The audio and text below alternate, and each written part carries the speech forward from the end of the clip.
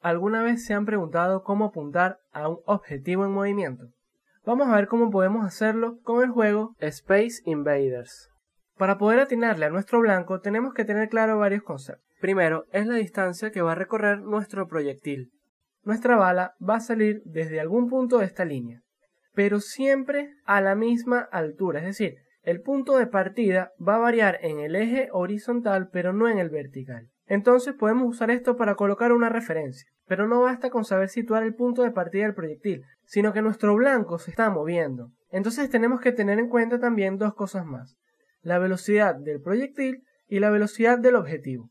Vamos a ver, el proyectil se mueve nada más en el eje Y, pero el objetivo en el eje X.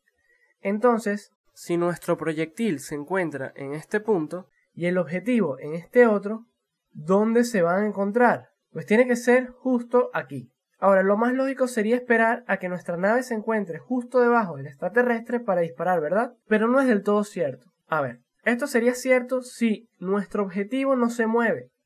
Pero como se está moviendo a una velocidad constante, lo que pasa es que a medida que el proyectil va subiendo, el objetivo se mueve hacia un lado y se aleja de la línea de choque. Entonces te pregunto, ¿qué es lo que tenemos que hacer? Es lanzar el proyectil cuando el objetivo esté un poco alejado de la línea de choque. Pero cuidado, si está muy lejos, entonces el proyectil llega más rápido que el objetivo, pero si está muy cerca, el objetivo se pasa. Entonces, la pregunta que nos tenemos que hacer es, ¿cuál es esa distancia que debe haber entre ellos en el instante inicial? Es decir, ¿cuánto tiene que valer x sub 0? Pues es muy fácil. Mira que el proyectil tiene que recorrer la distancia h en el mismo tiempo que el objetivo recorre la distancia x sub 0. Como ambos se mueven a velocidad constante, entonces con una simple ecuación podemos saber cuál es esa distancia, simplemente igualando los tiempos de ambos movimientos. Nos queda la expresión que se muestra. Podemos despejar fácilmente la distancia inicial que tenemos que dejar para poder atinarle a nuestro objetivo.